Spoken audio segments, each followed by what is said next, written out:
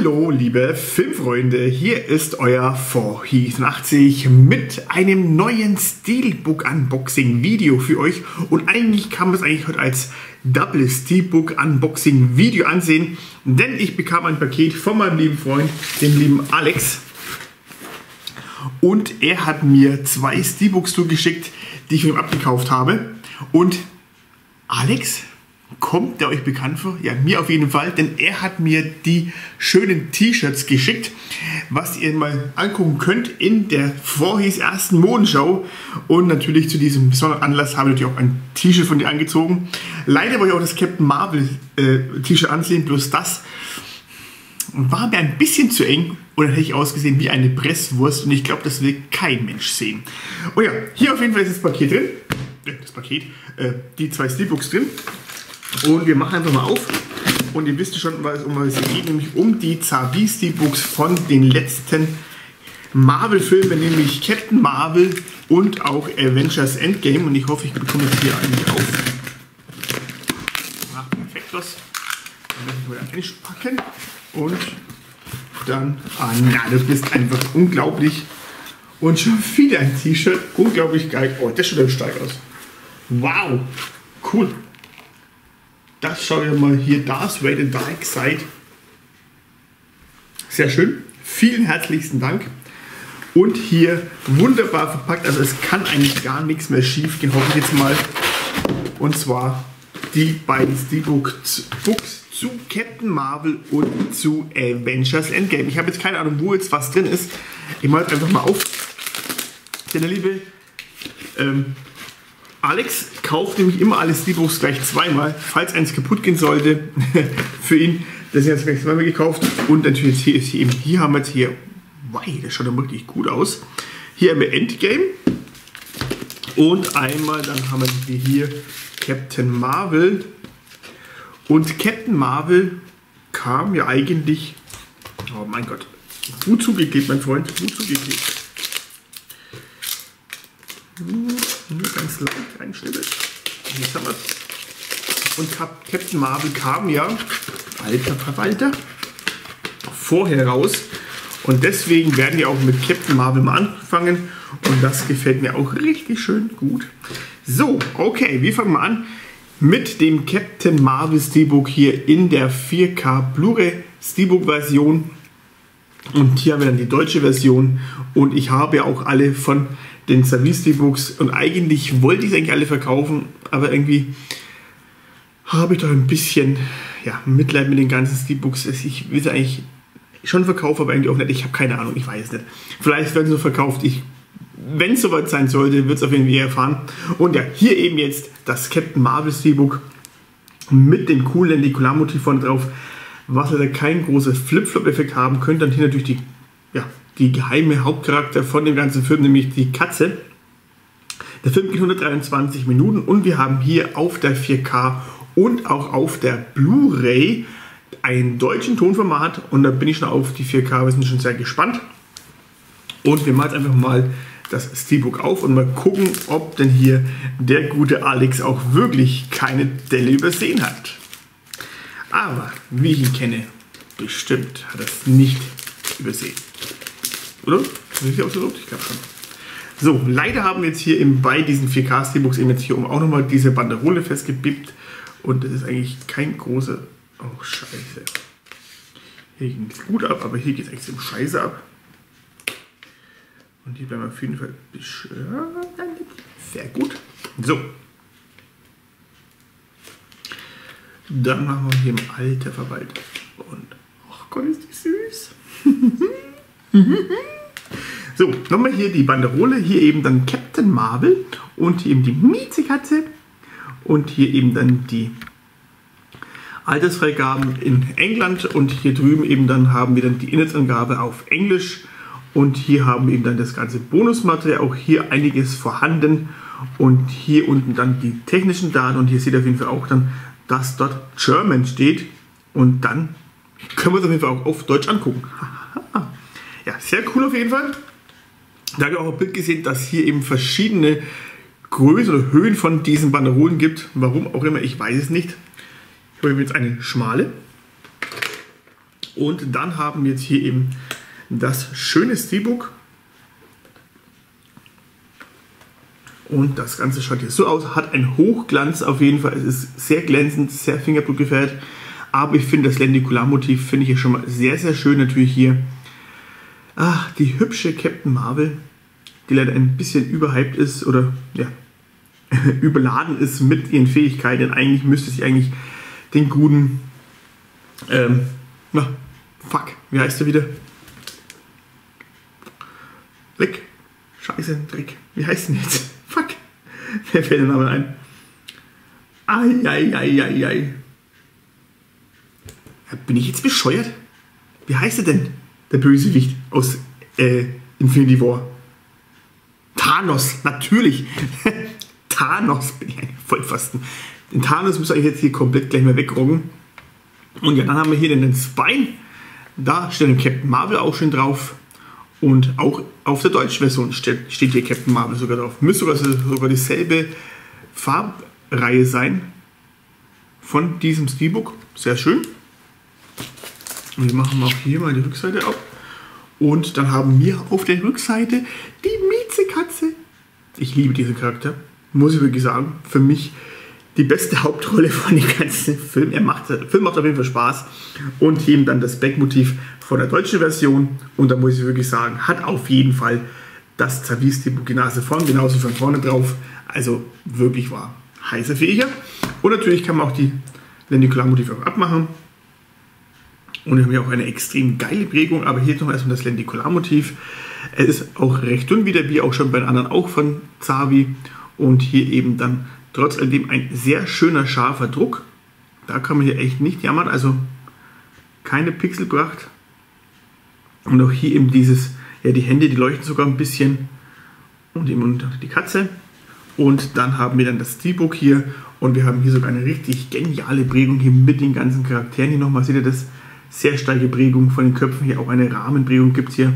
Leider der Captain Marvel hier und der Schriftzug ist nicht geprägt, auch die Katze ist nicht geprägt, aber ansonsten die Charaktere sehr schön gestaltet, also muss ich ja wirklich sagen, geniales Steelbook, hätte ich echt nicht das so erwartet, so schön und ich hinterher einfach miau. So, wir machen mal innen drauf. Alter Verwalter, das ist echt richtig schick. Echt wahr. Ist echt richtig schick. Da haben wir einmal die 4K-Version mit demselben Motiv wie vorne drauf. Also hier sehr, sehr schön. Alter, echt zentimeter das. Und dann haben wir noch hier dann noch die Blu-ray-Version. Auch hier ein schönes Motiv drauf. Und das kann sich auf jeden Fall sehen lassen. Und auch, wow, das Innenmotiv in Farbe auf dem Motorrad. Auch das wirklich sehr, sehr schick. Also hier, das Steelbook ist wirklich ein Hingucker und gibt es auch noch bei Zabi zu bestellen. Also jetzt schnell sein, falls es ausverkauft sein soll. Also ich finde es hier wirklich sehr edel und sehr schön gestaltet hier. Aber wie gesagt, ist natürlich wieder jedermanns Geschmack. Ich finde es sehr schön, weil ich mag ja gerne bunte Steelbooks, die ein bisschen pompös und ein bisschen farbenträchtiger sind als so äh, ja, sterile und ja, wenig Farbe. Wie heißt steril? Ich habe heute echt Wortfindungsstörungen. Schon mein, vierter, mein fünfter Frühdienst in Folge und irgendwie bin ich jetzt echt ein wenig down. So, sehr cool auf jeden Fall. Vielen Dank für den netten Verkauf, lieber Alex. Und dann haben wir noch dann das nächste Steelbook, nämlich Avengers Endgame. Auch da habe ich mal, das deutsche Steelbook hergeholt. Auch da hat auf jeden Fall Zavi die Nase vorne. Einzige Manko daran ist an diesem Steelbook, wir haben hier weder auf der Blu-ray noch auf der 4K-Version eine deutsche Tonspur. Sehr, sehr schade. Aber wie gesagt, da kann man jetzt hier drüber wegsehen denn man hat diesen Film ja entweder schon zu Hause oder man kauft ihn sich eben als Armorway günstig nach. Und wir machen einfach mal auf und dann gucken wir uns gerne mal das Steelbook mal genauer an. Mal gucken, ob es auch genauso geil ausschaut wie das von Captain Marvel. Bin ich sehr gespannt. Oh, scheiße. Ich hab's. Jetzt haben wir es. So, auch hier haben wir wieder die 4K-Version. Auch hier ist oben wieder die Banderole wieder festgeklebt. Wegen dem Label hier oben. Und ach du Scheiße, es ist auch beschissen abzumachen. Äh, jetzt haben wir einmal, das haben wir schon mal. Und das haben wir auch. So, dann schieben wir es mal vorsichtig hier raus. Ja. Mhm. Mhm. Oh. Ich weiß, was ihr noch nicht wisst. so, okay, wir machen erstmal die Banderole wieder. Hier oben mit diesen Klebepopeln festgemacht. Das ist echt extrem kacke. Dann hier nochmal eben Avengers Endgame.